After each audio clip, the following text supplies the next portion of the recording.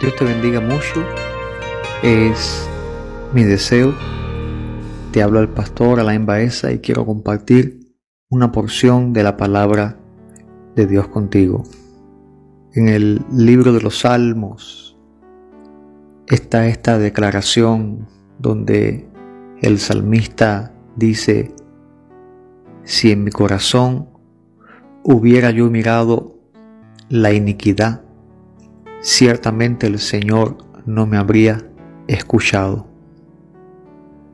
Y quiero apoyarme en este en esta porción de la Biblia para traer una reflexión a tu vida. No mires, no codicies la iniquidad. La iniquidad es todo tipo de pecado y acción de manera impía, de manera sucia, todo lo que es no proveniente de fe, todo lo que son acciones malvadas y pecaminosas o deseos de la carne, podríamos denominarlo iniquidad. ¿Cuán profunda sería una explicación acerca de lo que es iniquidad? Pero cuando decimos iniquidad, eh, eh, ya, ya se nos hace un poco, se nos ayuda al entendimiento de a qué se refiere el Señor acá. El salmista dice, si en mi corazón yo hubiera mirado a la iniquidad. O sea que, que eh, el cristiano tiene que tener cuidado. Y esto escúchame bien, amado pastor, evangelista, maestro, profeta, siervo que me está escuchando ahora mismo. No te sientas excluido de esto. Tú que me estás escuchando, ¿qué está pasando con tu corazón? ¿Qué está pasando con tu corazón en este tiempo? ¿Acaso hay una inclinación de tu corazón hacia la iniquidad, hacia lo que es malo, hacia lo que no es santo?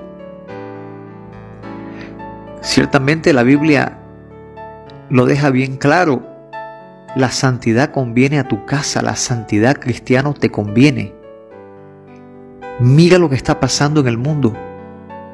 Abre los ojos no solo los ojos físicos, sino los espirituales también para que entiendas y para que veas cómo el cumplimiento verás de la palabra, cómo eh, eh, me gusta ese texto que, donde Dios dice, ahora verás si se cumple mi palabra o no. Ahora estamos viendo cómo Dios está haciendo cumplir su palabra. La extensión del tiempo de misericordia donde se ha predicado el Evangelio de una manera tan veraz, tan efectiva. Está llegando ahora a un término donde estamos viendo el principio de dolores y ojo, aún no es el fin. Aún no es el fin. Estamos en este principio de dolores pero aún no es el fin. Y yo quiero hablarle a una iglesia a la cual Dios está llamando para que su corazón habite dentro de casa santa, un corazón santo y limpio delante de Dios. Porque cuando tu corazón se inclina a la iniquidad, hay deseos pecaminosos en el creyente que lo van conduciendo a pasiones vergonzosas y a pecar contra Dios. Huye de las pasiones juveniles es un consejo que le es dado a Timoteo y este consejo quiero eh, extendérselo a la a la iglesia en pleno. Huye de toda pasión que te lleve a tener esa relación con el pecado. En estos tiempos donde la congregación en algunos países aún resulta imposible realizarla, amados, hay cristianos que se están aflojando, hay cristianos que no están orando, hay cristianos que se están apartando y yo quiero hacer un llamado al corazón de la iglesia en pleno. Vuélvete a Dios, doblega tu corazón, sométete a Dios, ríndete a Cristo, reconoce tu posición, tu condición, tus acciones para que Dios trabaje en ti. Iglesia, Cristo viene pronto, en cualquier momento.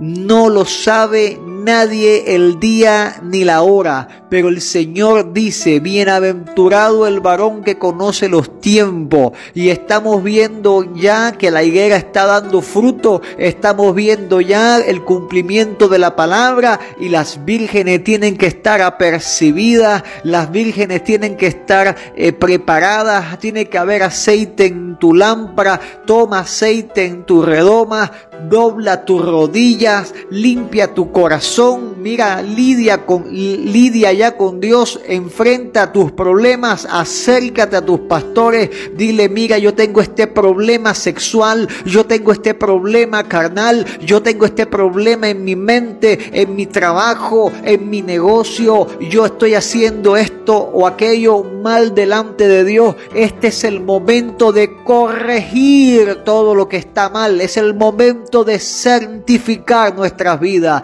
El que es santo, dice el Señor, santifíquese más. Pero ¿qué pasará con el impío?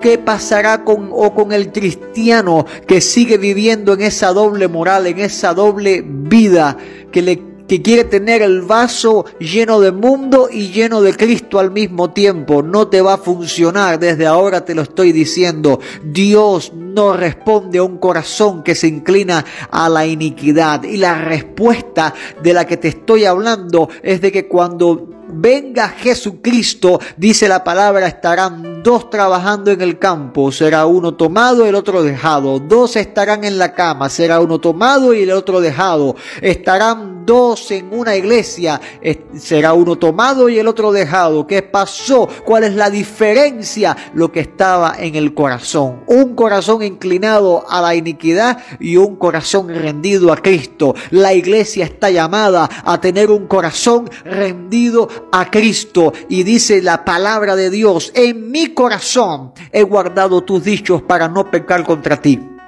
Cristianos que no han leído la Biblia ni siquiera una sola vez en toda su vida y el Señor viene pronto. ¿Cómo vas a guardar sus dichos en tu corazón si no te has leído siquiera su palabra? Amado, escúchame bien. Esto no es para que tú andes diciendo esto es un legalista o es un religiosón. No, te estoy diciendo de que el tiempo ya es escaso y de que tienes que movilizarte de una buena vez y convertirte en un guerrero en la brecha, en un cristiano bien encendido en el fuego del Espíritu Santo, porque el Señor viene y te lo advierto antes de que sea tarde. Dios te bendiga, es mi deseo.